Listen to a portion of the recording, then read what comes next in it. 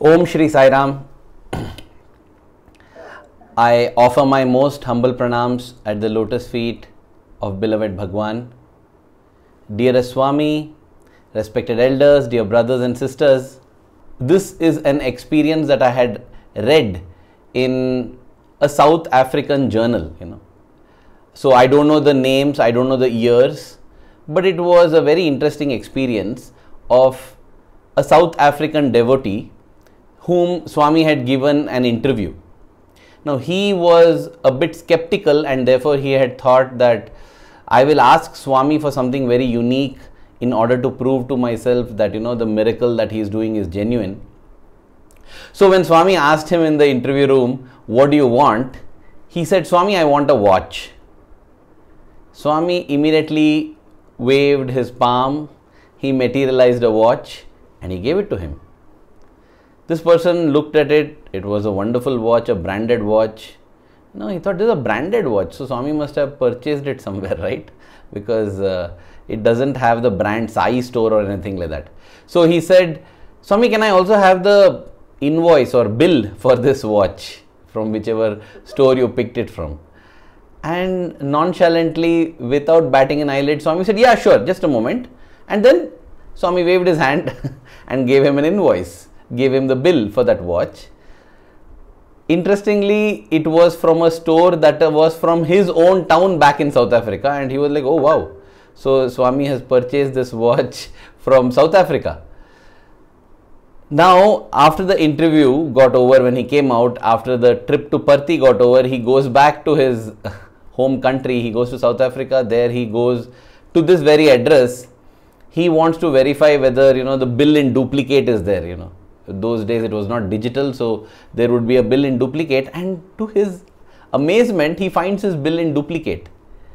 And the person at the store he says oh yes this i remember because something peculiar happened. What happened?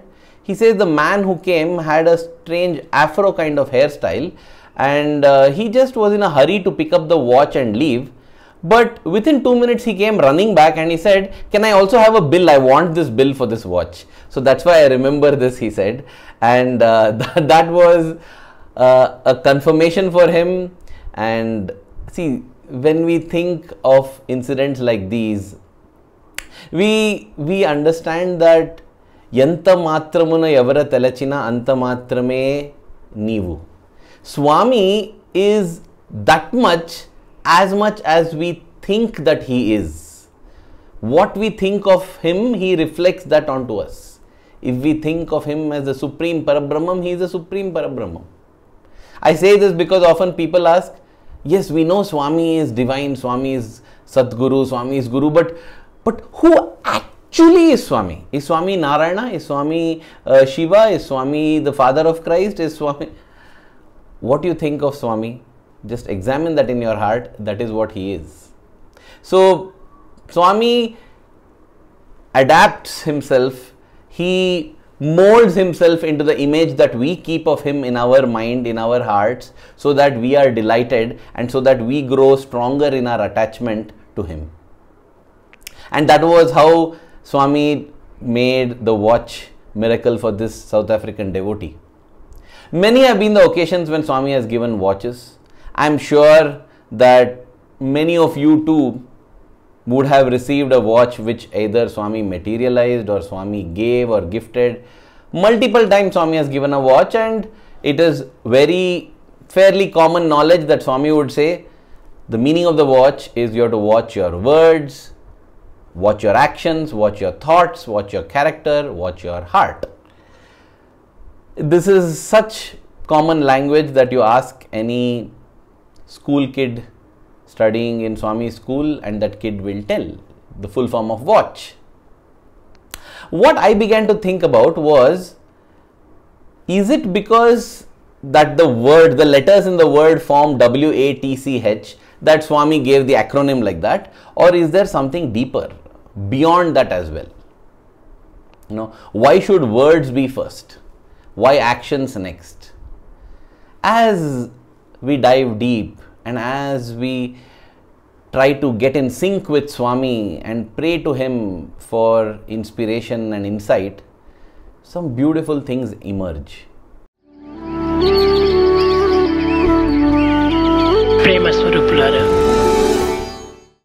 You know, it is not simply because of the acronym or simply because watch starts with W that Swami starts by saying, Watch your words. Come to think of it, the words are possibly the most easiest for us to control, for us to watch. You know, however I may be feeling, I might be feeling irritated or angry. I can just choose not to speak. And yet, though among all the other things, the words are the easiest for me to control, it still requires some amount of effort. So, start with the easiest first. Whenever Swami would give advice to students who would have to appear for the examinations, he would tell this only that always start reading the question slowly and answer the ones that are the easiest. Because as you answer the easy ones, your self confidence will grow. And when the self confidence grows, you will be able to even answer some tough ones which otherwise you did not know the answer for. You know, because that is the impact of confidence. So here also Swami starts with watch your words. On this was one occasion where Swami was giving what we call as the silent treatment or the cold treatment to one of the students. Swami was not looking at him, Swami was not speaking to him, Swami was ignoring him. You know, it that feels even more painful than Swami scolding. A wise person has said that the opposite of love is not hate, it is indifference. so even when you are scolded by somebody, you you still matter to that person. That's why that person scolds. But if that person is indifferent to you, it's like yeah, no love. That is the feeling that you get. And so Swami would use this silent treatment, and Swami would say, you know, Swami would say that when a road, when a highway is under repair, I take other roads not because I don't like this road, but I want to allow the repair works to proceed quickly. You, you do that, right? You, you block away the road and say this road is not for use because it's being repaired. So those were the repair time, but it would be terrible. So this brother had written a letter to Swami where he had said, Swami, when will you stop torturing me?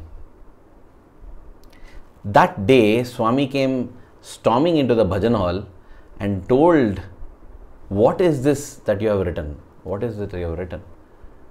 Do you know the meaning of the word torture?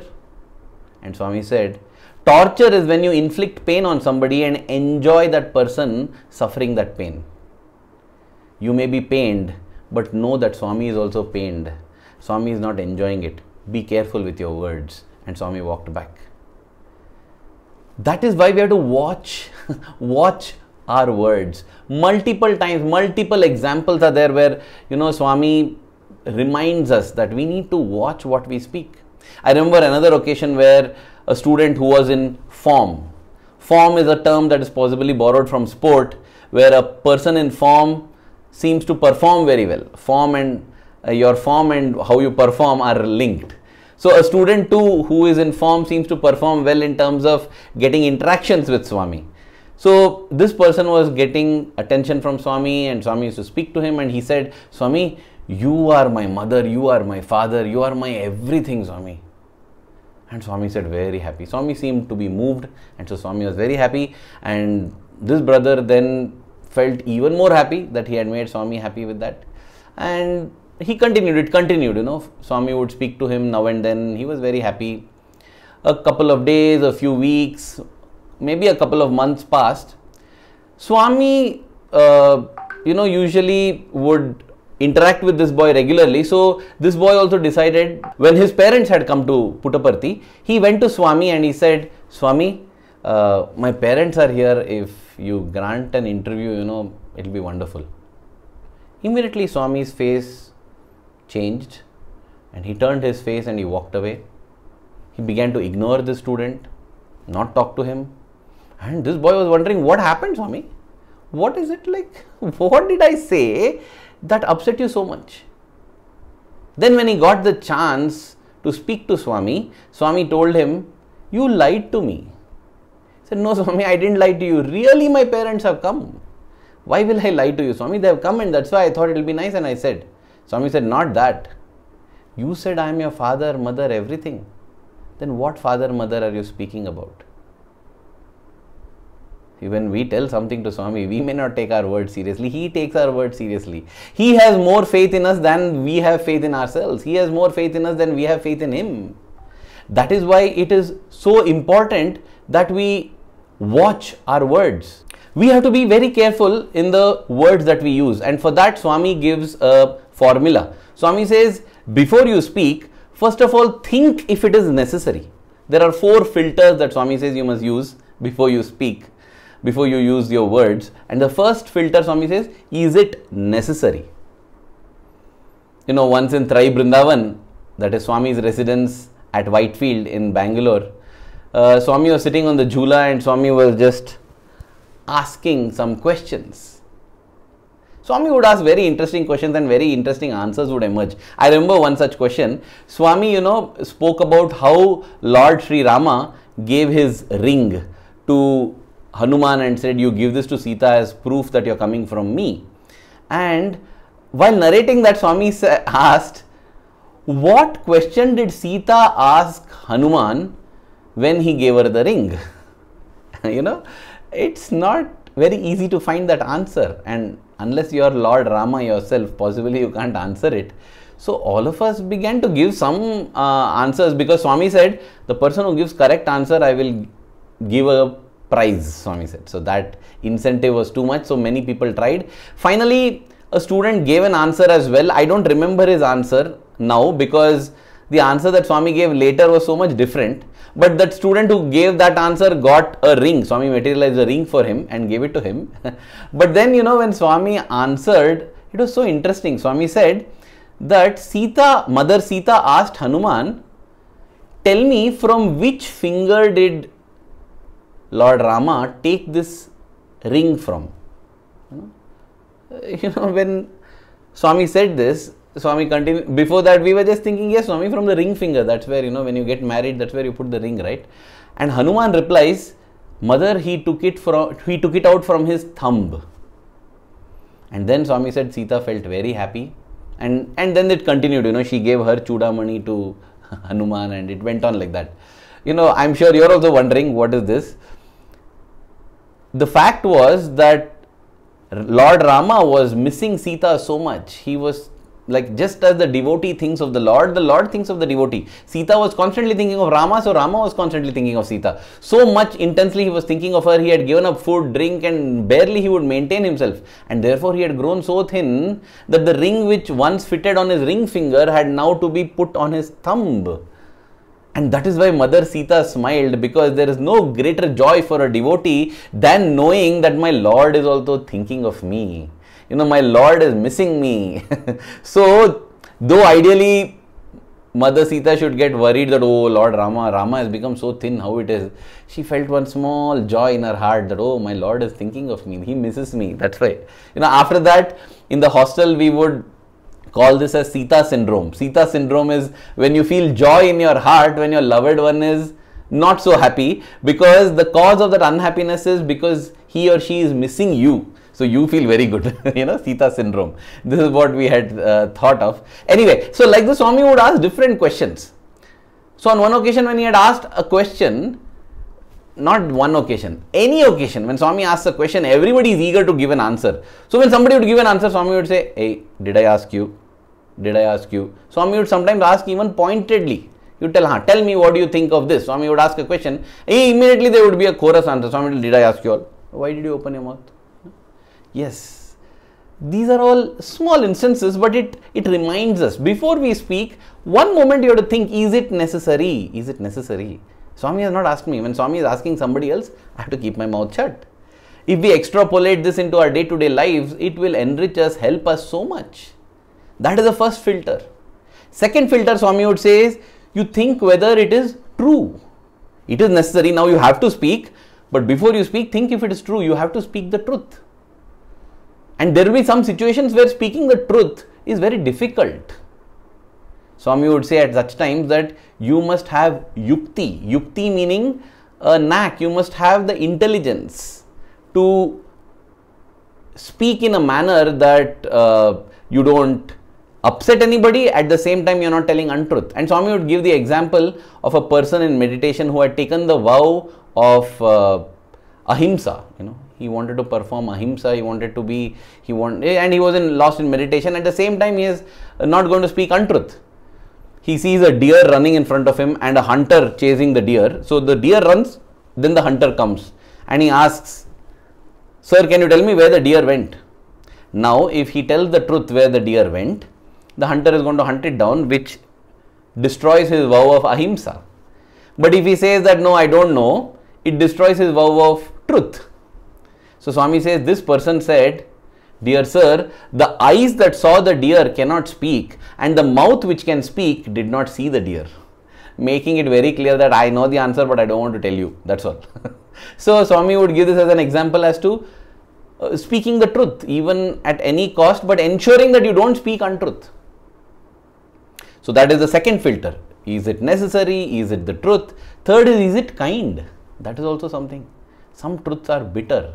You see the Desha Kala Paristhiti, the time, the circumstance, the place, and see if it is kind to reveal it or reveal it in a manner with compassion and kindness.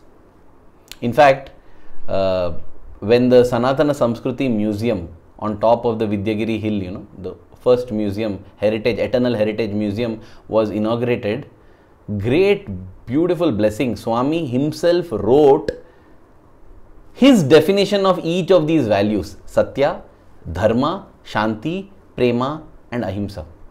And they are so unique and beautiful. I don't have time to go into each of them, but I would recommend that you, you know, be diligent in reading the Eternal Companion because starting from June, every month, one one of those, you know, so beautifully Swami makes us understand. We understand what is Satya, what is Dharma, what is Shanti, Prema, and Ahimsa. We have uh, we are uh, planning to work on this, and in the Eternal Companion, every month bring out one of these values. So, just giving you a sneak uh, sneak peek into Ahimsa. While speaking of Ahimsa, you know, Swami says, see, many times parents scold their children. They even discipline them.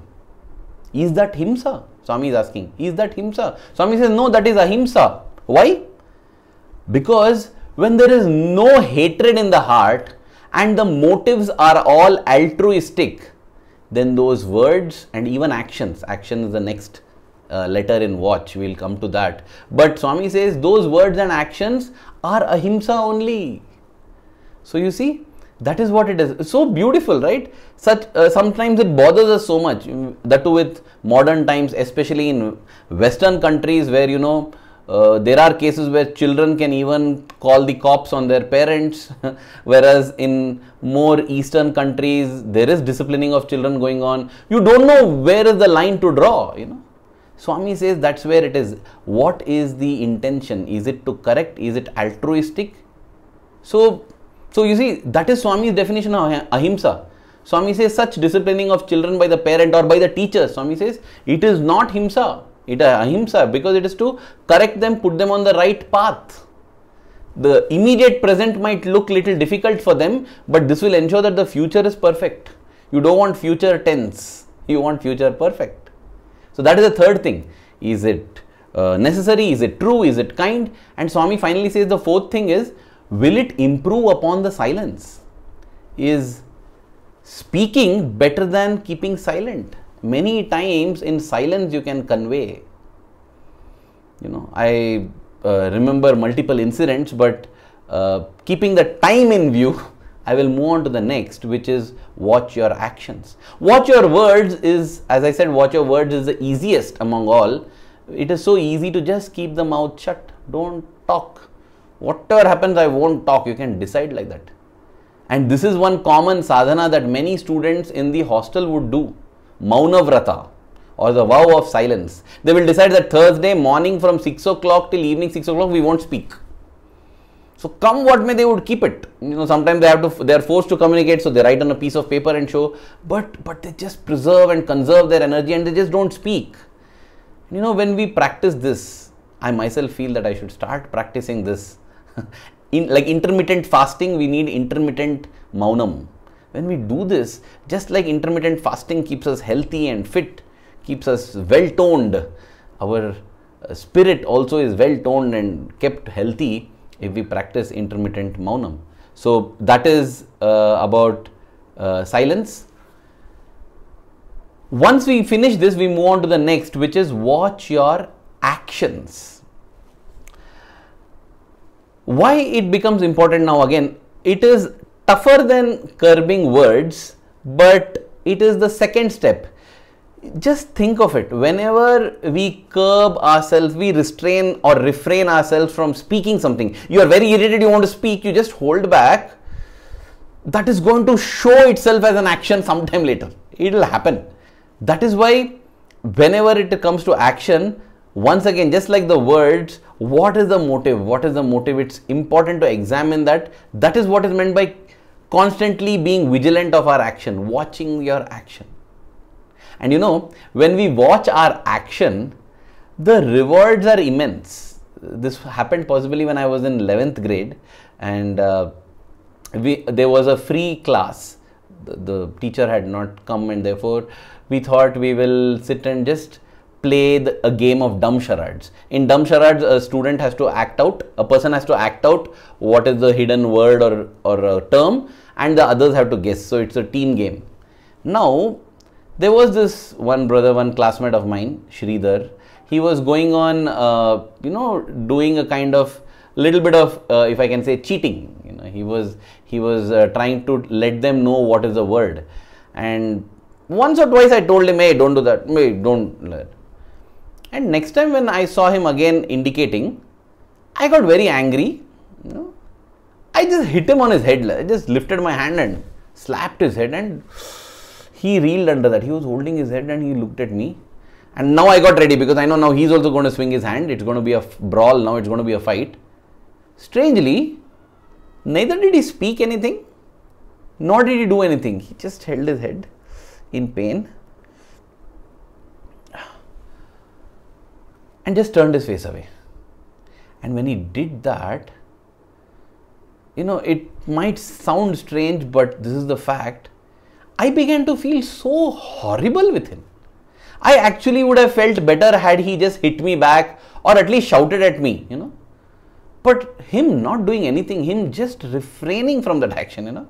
He, all said and done, he kept watch over his action. It made me feel so, so, so horrible. I, I, I didn't know. I was just like, oh God, he, he didn't do anything. It kills. You know, this is the power of ahimsa. This is also the power of silence sometimes you know when you when somebody speaks uglily about you when somebody is talking rot about you somebody is doing actions terrible you just bear you you when you just bear it in silence you know and just ignore it possibly hurts or makes the person feel so repentant i felt very repentant i felt so repentant that i felt swami i want to i want to give something to him you know as a way of seeking apology and uh, those years, Swami used to give us an opportunity. Whenever he goes near devotee side and materializes vibhuti, we could rush to Swami with a handkerchief. So I thought, Swami, today, please bless this handkerchief of mine, Swami. And when you use it, when you create vibhuti, you use it, you wipe your hand on it. I will go and gift this to Sridhar and seek apology. That was my thought. You know what happened that day? Those were the days when Swami used to give darshan in the Purnachandra auditorium because in the Kulwant hall, Sai hall, that gold uh, foiling work was going on. Swami created vibhuti for a person who was sitting just two feet ahead of me and then to another person who was just two feet behind me along the lines. So I got the opportunity to offer my handkerchief to Swami not once but twice. The only time it has happened in my what what I can say days with uh, in the physical presence of Bhagwan. That within the same 10 minutes Swami has accepted kerchief from me twice and the way Swami had you know materialized Vibhuti and wiped his hand, one side I could see a clear mark of Vibhuti, another side another clear mark of Vibhuti. Such a precious handkerchief. I felt like, oh Swami, maybe I'll I'll retain this handkerchief and tomorrow you bless, I'll give another one. This is a very special handkerchief. Right? A very special one but still i felt no no a promise made is a promise made i have to give this to him interestingly because it was a very unique thing that had happened that on the within the same 5 minutes the same boy had given handkerchief twice everyone else had also noticed so there were a few uh, classmates of mine who came and said hey arvind lucky fellow man no twice huh? handkerchief to swami twice lucky huh Sridhar also had noticed. And I went to him and said, Sridhar, I'm so sorry. He said, It's okay. I said, No, no, no. This handkerchief is yours. He said, This is, I said, Yeah, this is that handkerchief. And I told him, No, I had prayed to Swami and it is only for you that Swami did this. And we both embraced each other, you know, we embraced each other. It felt so wonderful. And, uh, you know, he was telling that I'm so glad that I didn't hit you back, man. What a gift I have got, you know. And I was thinking, wow, look at that. And that is what I think it it it seemed like it seems like a little thing, but every time we are able to keep watch over action, we are rewarded by the divine in ways that we cannot imagine. Uh, one might feel that this happened in the physical presence of Swami, but we are all mature enough and we have all experienced that there is not any difference between the physical presence and the omnipresence. The power is the same. And so, even to this day, I firmly believe that if I keep a watch over my actions, Swami will reward me. And that is such a great incentive. From actions, you know, in fact, uh, speaking on watching actions, there's one more aspect I must mention.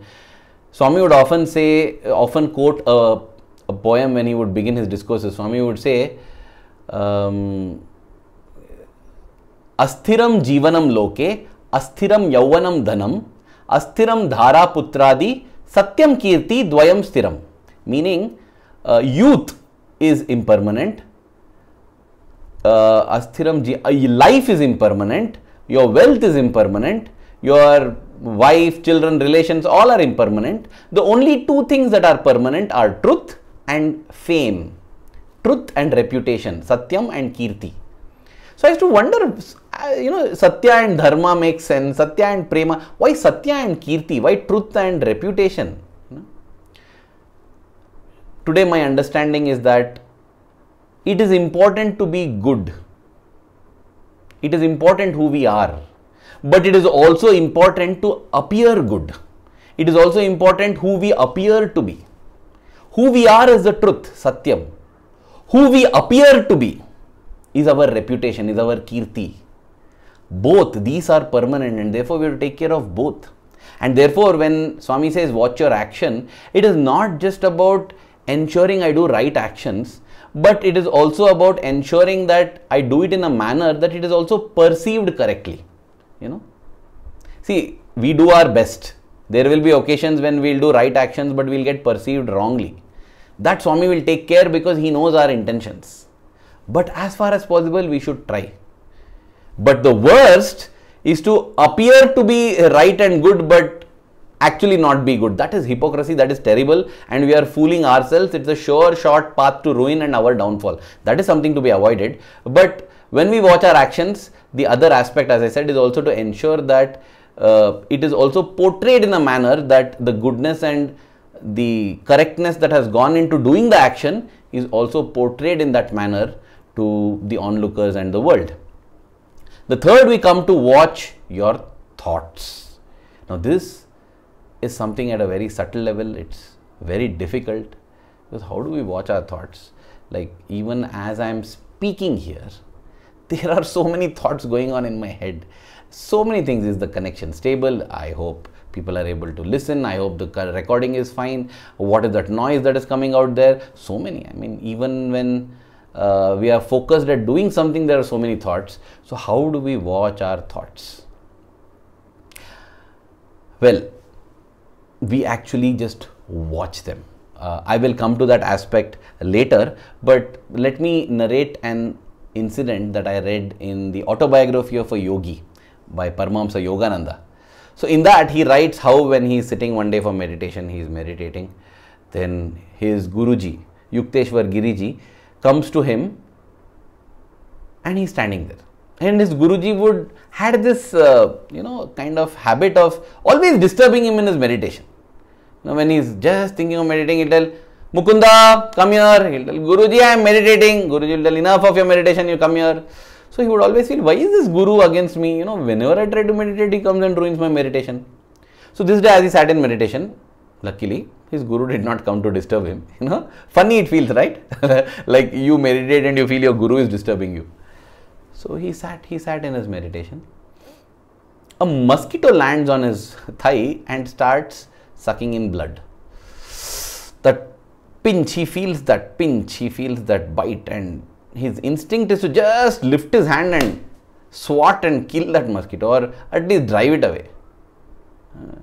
But in an instant, he just controls. No, no, no, no, no, no, no, no. Leave it, leave it, let it be, let it be, let it be. And he feels very happy with it. He has recorded it in that book. He feels very happy, yes, I have mastered it. And then comes that voice, Mukunda. and like, oh God, now what? And the Guruji says, Why are you stopping? Go, go, let your hand swing and kill that mosquito.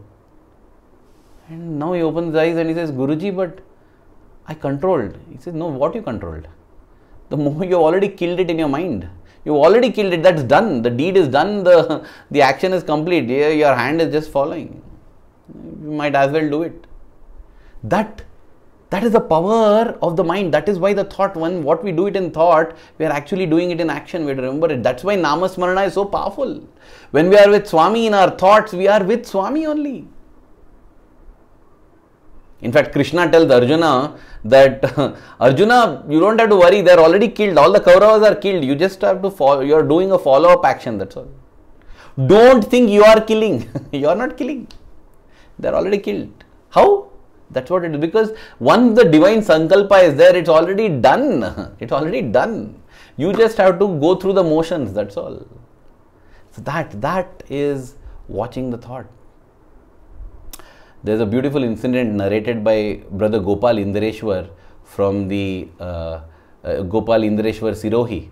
He's from the Rajmata's family, Jamnagar, and he was narrating uh, when he he was narrating how there was this uh, person managing the accounts of their family, and because he was in that privileged position, he misused that position and he had swindled some funds, and Brother Gopal was very, very upset with this. So one day, as he sat in the portico in Prasanthi Nilayam, he just did what he was capable of doing. That's all. He felt so angry on this person that who had, that had swindled. So as he closed his eyes, he landed one blow on his face because he felt like smashing his skull. He then landed another blow. Like, what is this? He had actually written about this person. He had written a letter and given it to swami also. But nothing you know swami had not taken any action or apparently done anything. So he was like so frustrated and all that pent up frustration was just suddenly the interview room doors opened. Swami looked gopal come in. Swami called him. So he got up and went in. And then swami asked him inside what are you doing? Swami what am i doing? I'm doing nothing swami. I'm just sitting silently there no, you are committing murder. Not once but thrice. Commit. Swami, Swami said, What are you thinking? You punch like that, he will die. Don't you know one when you do it in the mind, that is what it is. Oh, Swami, you will have to face the sin of three murders. Oh, and then Swami tells, but I understand what you're feeling. You're very upset, right? Do you want to really punch him? Wow, you know, Swami is giving a license. He says, Yes, Swami, I want to punch him. Swami says, Go ahead, punch him. No, he didn't need further prodding, felt okay. My karma will also be excused because Swami himself is telling to do this. So as he closes his eyes, suddenly he is transported to on top of a cliff. He's on top, he's on top of that cliff and below, down below is the ocean. The waves are coming and hitting, and there are jagged rocks, sharp like the teeth of a shark. They're all there. And here is this person standing and clutching something closely like this and trying to see where he can escape. And Gopal sees this is what it is, and he gives a hard punch.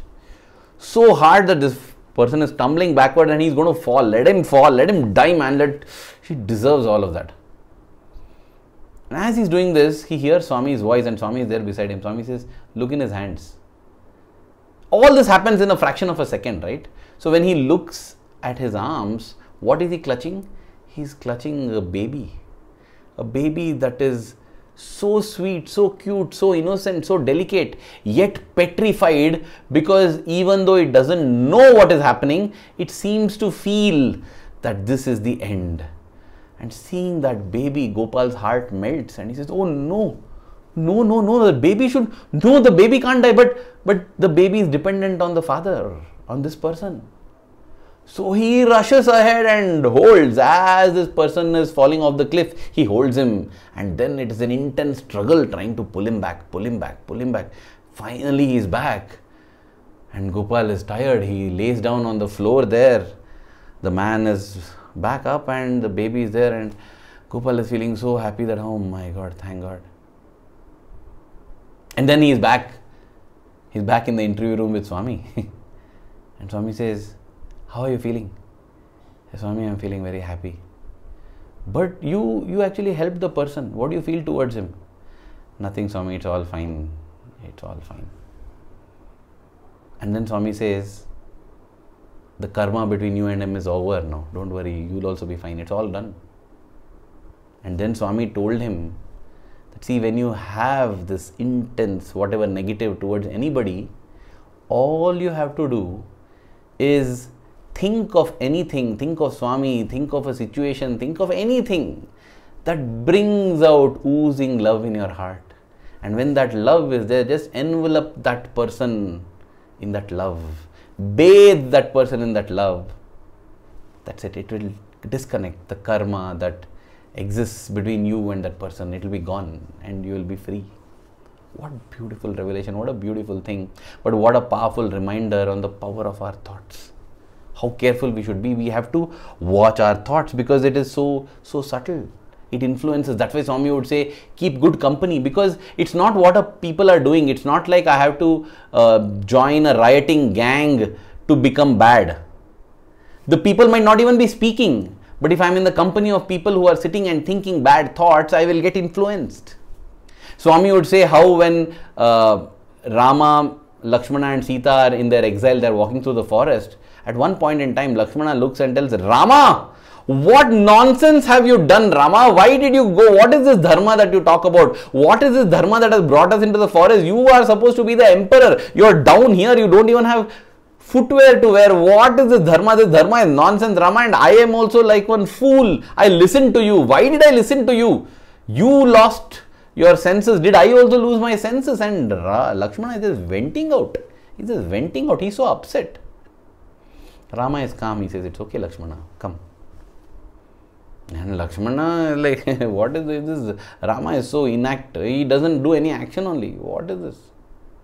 But after some time, suddenly Lakshmana feels very repentant. He says, What on earth did I do? What did I speak? How can I speak like this? He says, Brother, please forgive me.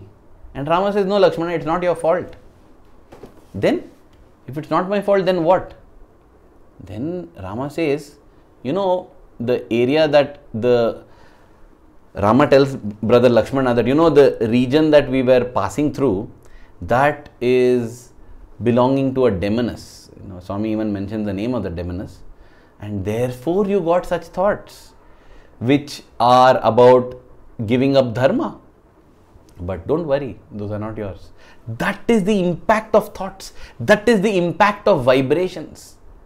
And that is why, you know, even Swami would say, you have to be so careful because all what is the source of all the thoughts in the head? Swami would say head is because of the blood, blood is because of food. That's why Swami would emphasize on having sattvic food. See, forget all other debates. Swami says if you are interested, if your priority in life is spirituality, 100% you have to give up non non uh, vegetarian food. Give up totally. Give up totally alcohol.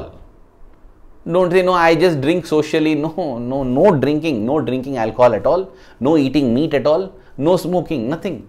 Because these will affect your spiritual growth and progress, though you may not get cancer or any other disease. And food also, Swami would say that see, it is not just about uh, eating vegetarian food. You have to ensure patra shuddhi. Patra shuddhi means cleanliness of the vessel in which it is cooked. Padartha shuddhi, cleanliness of the uh, vegetables or raw materials that are used Paka Shuddhi, purity of the cooking process at a physical level. But at a spiritual level, purity of the farmer who has grown these uh, vegetables, purity of the seller who has sold it to you, purity of the cook who is cooking this. And that's why Swami would say it is so difficult to ensure all of this, right? That's why chant Brahmarpanam before you have your food. You offer it to God. When you offer it to God, it becomes Naivedyam, an offering to God. And then what you consume is prasadam, just like Vibhuti, you know. Prasadam is a gift from God. A gift from God is free from all the negative vibrations. And that is the reason why we have to chant Brahmarpanam. It's all part of watching our thoughts. Otherwise, you just see depending on the kind of food you eat some our digestive system sometimes responds but the kind of thoughts we get also rajasic thoughts tamasic thoughts thoughts of desire greed lust anger they increase with some kinds of food. So that is why you know swami says possibly thought as a third third level because it's tough. Words are easiest relatively. Next are actions. Then we come to thoughts. If we are able to do these three correctly and properly and sufficiently successfully, we will be able to watch our character. Character is something that Swami emphasizes on again and again. Swami says the end of education is character. If we think deeply about it, the word end there has two meanings. One is end, the goal. The, the goal of education is character. If you say you are educated, you must be a person of character. Otherwise, whatever be your degrees, you are not educated at all. You don't have vidya. That is what Swami would say. Vidya is the Sanskrit term for, uh, which is loosely or weakly translated as education. And the other meaning of end is Swami would say that is how you know that it has culminated. The, the one is the goal, one is the completion. End. The end of education is character. If you have completed your education, you have character. The goal of education, why you are studying, it is not to earn money, not to earn degrees, not to use your degree certificates as a begging bowl. That is what Swami would say. No, that is not the goal of education. The goal of education is to achieve character, and you know you are uh, educated if you have got character. That's why Swami would say, if money is lost, nothing is lost, health is lost, something is lost, if character is lost, everything is lost. He would narrate the story of Emperor Prahalada Prahalada, you know, is the son of Hiranyakashipu, the wicked demon king. But he, Prahalada had such a pristine character and devotion for God that uh, Lord took Narsimha annihilated uh, uh, Hiranyakashipu and saved Prahalada and made him the emperor who ruled for thousands of years. But Swami says there was once Indra who wanted to feel superior to Prahalada, but he could never defeat him. So he comes in disguise and asks him for the boon. And Prahlada says, What is it that you want? He says, Can I have your character? And Swami then goes on to narrate how when Prahlada gives his character, he sees one luminous being leaving. Who are you? He says, He says, I am Dharma. If you are not having character, uh, Dharma cannot stay and Dharma has to leave. I am not able to recollect the exact order, but Swami says that one by one, wealth, compassion, everything, prosperity, all luminous beings start leaving. Why? Because Prahlada gave up character. And Swami would say, if you give up your character, every that's why Swami says if character is lost, everything is lost.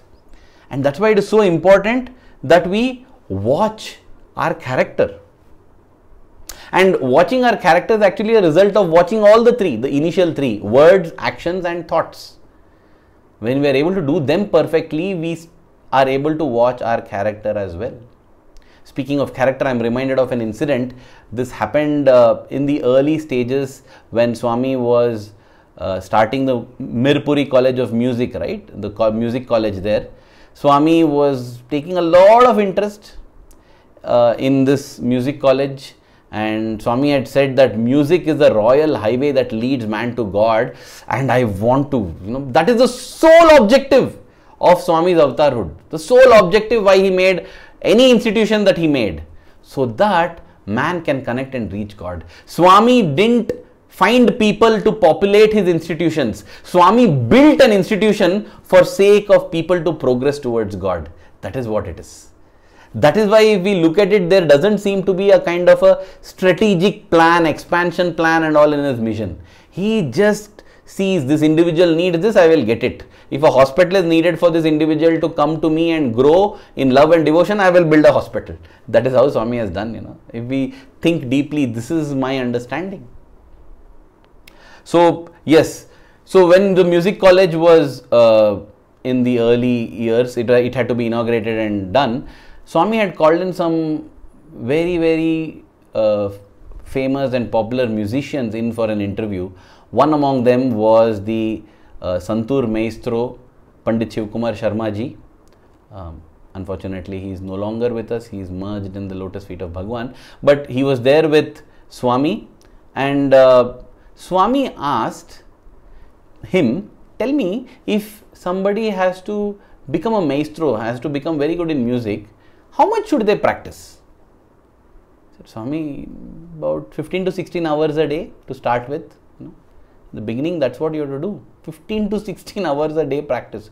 Swami said, but you know, my boys, utna samay, they don't have that much time. He agreed. He said, of, of course, Swami, yeah, students here are studying and yeah, they will not have that much time to do practice. But tell me, how is it? How is it that they? Uh, how how do they sing? What do you think of their musical abilities?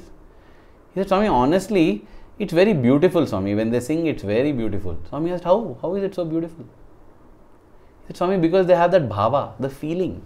It is the feeling that makes it so beautiful. They may not be so skilled, they may not be so talented, but the feeling with which they sing, no, it's so beautiful, Swami. Bhava. That's what he said.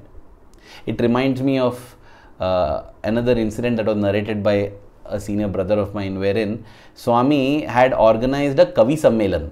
A Kavi Sammelan is a gathering of poets. So the who's who of poets from Andhra Pradesh possibly had all assembled in Swami's presence and they were, you know, reciting poems with which were very dexterous, which were very, you know, which re- required a lot of skill and intellectual ability to make. And the whole audience was in raptures like how beautifully they were praising swami. They were all clapping. After this whole thing got over uh, one of the devotees uh, who was uh, close by seeing the whole thing asked swami swami uh, how was the kavi sammelan wasn't it fantastic swami just kept silent he said swami everybody loved it how beautifully they described you and yet swami you didn't seem to be enjoying it on the contrary you it it appeared to me as if you are waiting for it to end. Why, Swami? What was bad in that? Swami said, No, no, you see, these people keep composing and making these poem poems so regularly. You pay them money tomorrow, they will sing glories about you. They will write poems in your honor. No big deal in that, Swami said. But you know, my children, they will write four or five lines. They will write in some multiple languages it may not have meter, it may not have rhyme, rhythm, nothing, no rhyme or reason. But you know, love is my form. No reason for love, no season for love. The feeling with which they do, I enjoy those poems so much. I miss those poems. Even as I share, I get emotional because Swami, Swami all his life and even now just thirsts for love, you know. Nothing else he bothers about if he ha- if he were to think about qualifications or anything else, who how could we have qualified? Swami says, if you need me, you deserve me, you love me, you deserve me. We have been blessed enough, we have been blessed to love him. And when we love him, he just accepts us. And that is what it is, you know. That is why he is called Bhava Priya, not Bahya Priya. He doesn't love the externalities, Bahya. He loves the Bhava, the feeling. And when these poets poets give their poems out of with bhava he liked it and that is why that is why even pandit shivkumar sharma ji told swami that day that swami they have bhava that feeling that is why and then swami put another question to him swami asked him how do they get that bhava how do you get bhava and he was just thinking now what do you answer for this swami only gave the reply swami gave the answer swami said it comes from character character is what gives bhava. And what is character? Watching words, actions, and thoughts. A summation of all this is watching character. The first book in the Vahini series that Swami wrote. See, Swami wrote the Vahini series as a series of articles in the Sanatana Sarathi. Later on, they were all collated and made into uh, each of the Vahinis that we know. The first one that Swami wrote is Prema Vahini. And if you actually pick up Prema Vahini and start reading, you will barely find the word Prema mentioned in that whole book. Prema never figures. You know what figures prominently? Character. Swami says in the first chapter itself, people think knowledge is power. No, character is power. Swami says, character is power. Character is destiny. Swami would say, sow a character, reap a destiny. Character is so important, so critical that the entire Prema Vahini is about character. Watch your words, watch your actions, watch your thoughts, watch your character. These four Satya, Dharma, Shanti, Prema. Watch your words, Satya. Watch your actions, Dharma. Watch your thoughts, Shanti. Watch your character, Prema. Eh, character is Prema? Yeah, Prema Vahini is all about character. It is the overflowing love. Unless we have character, we can't have love for God. We can't have love at all. With that, we come to the final fifth one watch your heart. What is meant by watch your heart? I tried to read, search the internet, search different books where Swami explains in detail about where is it that Swami has explained in detail about all of these. In my search so far, I couldn't find. I was just wondering, Swami, with this itself, everything is covered, right? Watch your words, watch your action, watch your thoughts. Watch your character. If you're watching the character and it's done, it's done, Swami. What is there to watch the heart? That, dear brothers and sisters, is the final stage because all of this, I feel I am watching, I am taking care, I am doing this, I am doing that, I am, I, I is there. I feel I am the doer and God is a witness who is just, you know, as per my actions, I am rewarded or punished. God is just a witness. This is what we believe, right? This is what we believe. We are all doers, we are all actors, and God is a witness. God is eternal witness. That's how we call him. Sarvada Sakshi Bhutam. But when we come to watch the heart, we go back to what Krishna told Arjuna Arjuna, they're already dead. the Kauravas are already annihilated. You just have to go through the motions that one statement, you know, it strikes me because there God is clearly telling, I am the doer, you are a witness, you just witness. So, what are you celebrating about? You didn't do anything, I did. What are you depressed about? You didn't do anything wrong, I am doing everything. When it comes to watching the heart, in my opinion, in my understanding, it is this. It is about giving up that I finally, you know, I my character, no, my no, my character. What is my character? Not my words, not my thought. It is not my words. It is all Swami's words. It is not my action. It is Swami's action. It is not my thoughts. It is Swami's thoughts. It is nothing, nothing pristine about my character. Nothing great about me. It is all Swami. It is not me. It is Swami. Swa means Atma. Swami would say. Swa is Atma. Swami. When I am one with the Atma, when me is with Atma, it becomes Swami. That is watching the heart to be a witness. And when we are a witness, the proof, they say the proof of the pudding lies in eating. The proof of knowing that I am watching my heart is how unaffected I am in trials and tribulations. Sukha dukke same kritva labha labhau jaya jayo. Whether in sukha or dukha, in, in pleasures or pain, in sorrow. Labha labhau, in profit or loss. Jaya jayo, victory and defeat. If I am equanimous, I am fine. I am equanimous. Why? Not because I am putting efforts to be equanimous. Because I have put efforts and I have realized that I am just a witness. I'm just being, I'm just existing, I'm just watching. That is the ultimate stage, and that's why H is put in the last. I began by asking whether it was just an acronym that matched and Swami made. The divine master plan has multiple layers. It's like the onion. You open a layer, there's another layer, another layer. And as we delve deeper and deeper, we get more and more meaning, more and more understanding Dear Swami, we are so grateful to you for everything. Whatever we do, Swami, will never, never be enough to pay back this debt of gratitude. The only way I can do for you is if I become you, Swami. And that is the ultimate state, right? To watch the heart. Be with us, Swami, as you always are. And when I say be with me, I am saying this, Swami, just for my own satisfaction. Be with us, be with me as we watch our words, as we watch our actions, as we watch our thoughts, as we watch our character, and ultimately watch our heart and realize that you and we, you and I, are one. We move from I to we to He, which is you. Thank you, Swami. Thank you to all the instruments of Swami. Jai Sai Ram.